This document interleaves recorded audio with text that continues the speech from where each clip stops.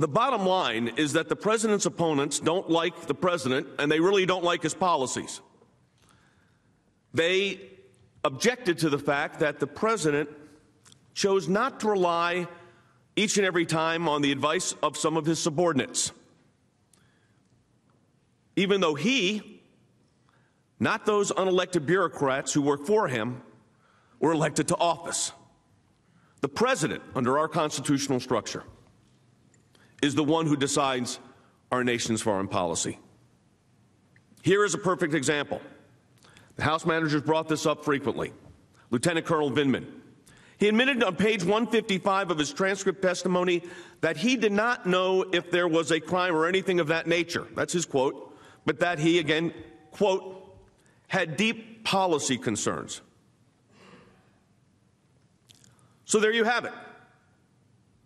The real issue is policy disputes. Elections have consequences, we all know that. And if you do not like the policies of a particular administration or a particular candidate, you are free and welcome to vote for another candidate. But the answer is elections, not impeachment. To be clear, in our country, in the United States, the president elected by the American people is, in the words of the Supreme Court, the sole organ of the federal government in the field of international relations and foreign policy for our government.